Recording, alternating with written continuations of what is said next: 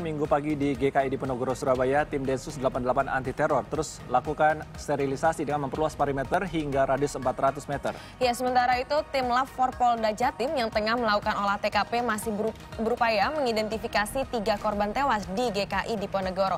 Seluruh korban tewas merupakan wanita dan dua anak-anak. Hingga minggu sore, ketiga jasad korban ledakan bom bunuh diri di halaman parkir Gereja Kristen Indonesia atau GKI Surabaya masih belum dievakuasi oleh petugas. Ya, dalam video amatir terlihat tiga korban tewas diperkirakan adalah dua anak dan seorang wanita dewasa. Ya, sementara Kapolri Jenderal Tito Karnavian dan Wali Kota Surabaya Tri Risma hari ini juga datang meninjau lokasi langsung kejadian di GKI di Ponorogo. Ya, akan tetapi dalam tinjauannya Kapolri enggan memberikan statement terkait rangkaian aksi teror di Surabaya.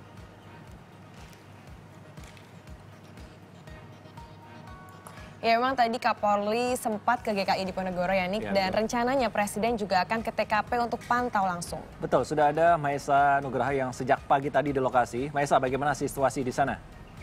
Ya, Vaniko dan juga Anjana, tepat pukul 3 lebih 50 atau pukul 4 kurang 10 menit sore ini uh, rombongan Presiden Republik Indonesia Joko Widodo bersama juga dengan Menko Polhukam, uh, Kapolri dan juga Panglima serta uh, jajaran rombongan terkait datang langsung ke lokasi salah satu lokasi kejadian bom bunuh diri di Jalan Diponegoro tepatnya di Gereja Kristen Indonesia di Jalan Diponegoro Surabaya.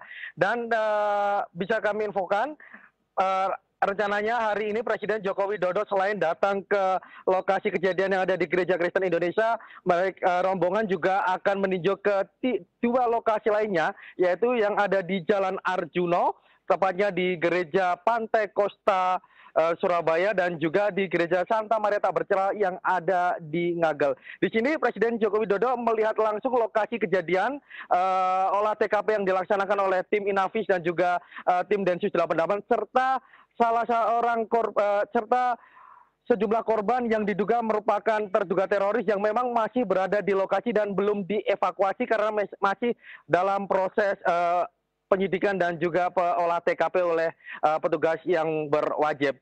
Dan hari ini rencananya usai meninjau lokasi, Presiden RI Joko Widodo akan melanjutkan uh, tinjauannya ke sejumlah rumah sakit yang ada di Surabaya, seperti Rumah Sakit Bayangkara dan juga Rumah Sakit Dr. Sutomo Surabaya untuk melihat kondisi para korban yang menjadi korban ledakan bom bunuh diri yang ada di Surabaya. Sementara itu, uh, ya bisa kami infokan dari uh, lokasi kejadian dari Karopenmas uh, Mabes Polri M Iqbal mengatakan jika memang hingga saat ini masih belum bisa dipastikan siapa dalam dibalik aksi uh, brutal bom bunuh diri yang terjadi di Surabaya.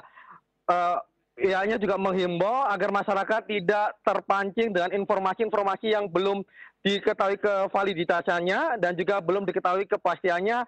Hanya uh, Karopenmas Mabes Polri uh, uh, Brigjen M. Iqbal uh, mengatakan agar masyarakat di Indonesia di Surabaya pada khususnya untuk tetap waspada dan tidak panik dan petugas kepolisian menjamin keamanan yang ada di Surabaya. Demikian yang bisa kami infokan dari lokasi kejadian Gereja Kristen Indonesia Jalan Diponegoro Surabaya. Kembali ke studio Anjana dan juga Faniko.